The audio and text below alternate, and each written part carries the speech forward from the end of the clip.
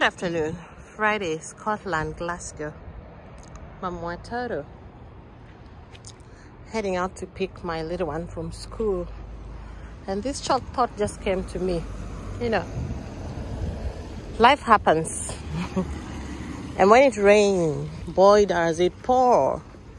One of the greatest parts of living is being happy and being joyful.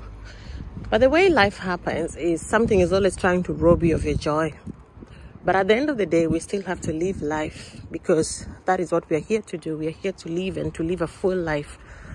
The trick in happy living is uh, being able to find that joy from inside despite everything else that's going on around you.